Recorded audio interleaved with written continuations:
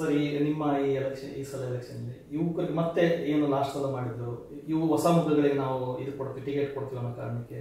ಆ ರೀತಿ ಮಾಡಿದ್ರೆ ಆ ಒಂದು ಚಿಂತನೆ ಇದೆ ಬಿಜೆಪಿ ಹೊಸ ಬ್ಲಡ್ ತರಬೇಕು ಅಂತ. ಈಗ ಅಂತ ಏನಾದ್ರು ಯೋಚನೆ ಮಾಡಲೇಬೇಕು ಸರ್, ಅದು ಮಾಡಲೇಬೇಕು. ನೀವು ನೋಡಿ, ದೇಶದಲ್ಲಿ ನಲವತ್ತು ವರ್ಷಕ್ಕಿಂತ ಕೆಳಗಿನವರು ಅರವತ್ತು ಪರ್ಸೆಂಟ್ ಜನ ಇದ್ದಾರೆ. ನೀವು ನಲವತ್ತು ವರ್ಷಕ್ಕಿಂತ ಕೆಳಗಿನವರ ಭಾವನೆಯನ್ನು, ಎಂಬತ್ತೈದು ವರ್ಷದವರು ಎಂಬತ್ತು ವರ್ಷದವರು ಅದನ್ನು ಕ್ಯಾಲ್ಕುಲೇಟ್ ಮಾಡಿ ಆ ವೇಗಕ್ಕೆ ಹೋಗಲಿಕ್ಕೆ ಸಾಧ್ಯವೇ ಇಲ್ಲ. ಹಿರಿಯರ ಮಾರ್ಗದರ್ಶನ ಬೇಕು, ಕಿರಿಯರ ಆ್ಯಕ್ಟಿವ್ ಪಾರ್ಟಿಸಿಪೇಷನ್ ಬೇಕು. ಆಗಲೇ ಒಂದು ಸಂಘಟನೆ ಬೆಳೆಯೋದು ನಾವು ನರೇಂದ್ರ ಮೋದಿಯವರು ಬಂದ ಮೇಲೆ ಈ ಪಾಠವನ್ನು ದೇಶದಾದ್ಯಂತ ಕಲಿಸಿದ ಕಾರಣ ನಾವು ಲೋಕಸಭೆಯಲ್ಲಿ ಮತ್ತೊಂದರಲ್ಲಿ ಯಶಸ್ವಿಯಾಗಂಥ ಕೆಲಸ ಮಾಡಿದ್ದೀವಿ.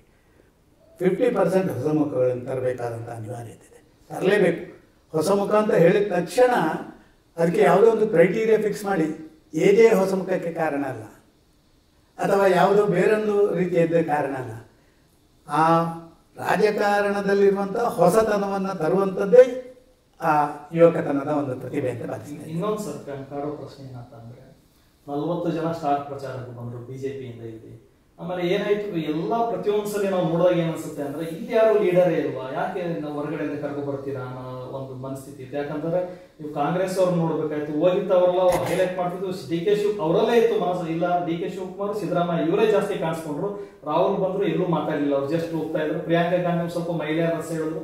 ಬಟ್ ಕಾಂಗ್ರೆಸ್ ಏನ್ ಮಾಡಿದ್ರು ಬಟ್ ಬಿಜೆಪಿ ಅವ್ರು ಮಾಡಿದ ಏನಾಯ್ತು ಅಂದ್ರೆ ಇಲ್ಲಿ ಯಾರು ನಮ್ಮ ನಮ್ಮ ಮೇನ್ ಕ್ಯಾಂಡಿಡೇಟ್ ಲೀಡರ್ಸ್ ಯಾರು ಅವ್ರನ್ನ ತೆರೆ ಮುಂದೆ ಬಿಡೋದಿಲ್ಲ ಇಡೋದ್ರು ಅನ್ನೋ ಒಂದು ಅಪವಾದ ಇದೆ. ಸರಿ ಇಲ್ಲ ಸರ್ ಸರಿ ಇಲ್ಲ.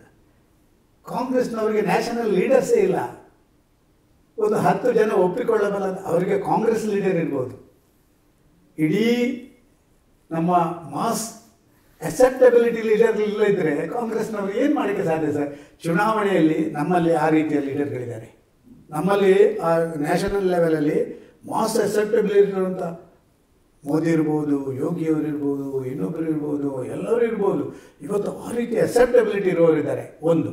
ಎರಡನೇದಾಗಿ ಸರ್ ಮೋದಿಯವರು ಇವತ್ತು ಪ್ರಧಾನಮಂತ್ರಿ ಆದರೂ ಕೂಡ ಅವರು ಬಿ ಜೆ ಪಿಯಿಂದ ಪ್ರಧಾನಮಂತ್ರಿ ಆಗಿರೋದು ಯೋಗಿಯವರು ಮುಖ್ಯಮಂತ್ರಿ ಆಗಿದ್ದರು ಬಿ ಜೆ ಪಿಯಿಂದ ನಡ್ಡಾರವರು ಅಧ್ಯಕ್ಷರಾಗಿದ್ದರು ಕೂಡ ಬಿ ಜೆ ಪಿಯಿಂದ ಆದ ಕಾರಣ ನನ್ನ ಪಾರ್ಟಿಯ ಚುನಾವಣೆ, ಅದು ಸಣ್ಣ ಚುನಾವಣೆ ಇರಲಿ, ಪಂಚಾಯತ್ ಚುನಾವಣೆ ಆದರೂ ಕೂಡ ಅಲ್ಲಿಗೆ ಬಂದು ನನ್ನ ಪಾರ್ಟಿಯನ್ನು ಗೆಲ್ಲಿಸಬೇಕು ಅಂತ ಹೇಳುವಂಥ ಆ ಒಂದು ಪಾರ್ಟಿಗಿರುವಂಥ ಕಮಿಟ್ಮೆಂಟು ರಾಷ್ಟ್ರೀಯ ನಾಯಕರನ್ನು ಇಲ್ಲಿ ಬರುವಂತೆ ಮಾಡಿದೆ.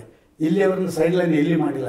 ಜನಸಂಕಲ್ಪ ಯಾತ್ರೆ. ನಾಲ್ಕು ತಂಡಗಳಲ್ಲಿ ಇಡೀ ರಾಜ್ಯದಲ್ಲಿ ಪ್ರತಿ ವಿಧಾನಸಭಾ ಕ್ಷೇತ್ರದಲ್ಲಿರುವಂಥ ನಮ್ಮ ನಾಯಕನನ್ನು ಅಲ್ಲಿ ಪಿಕಪ್ ಮಾಡಿ, ಅಲ್ಲಿ ಓಡಾಟ ಮಾಡುವಂಥ ಕೆಲಸ ಕಾರ್ಯಗಳನ್ನು ಮಾಡ್ತು. ಅದರ ನಂತರ ನಡೆದಂಥ ಬೇರೆ ಬೇರೆ ಯಾವುದೇ ರ್ಯಾಲಿಗಳು ನರೇಂದ್ರ ಮೋದಿ ರ್ಯಾಲಿಗಳು ಬಂದರು. ನಾವೆಲ್ಲ ಅವರ ರ್ಯಾಲಿಯಲ್ಲಿ ಪಾರ್ಟಿಸಿಪೇಟ್ ಮಾಡಿದ್ದೆವು ಪ್ರತಿಕ್ಷಣದ ಸುದ್ದಿಗಾಗಿ Zee Kannada news app download ಮಾಡಿ.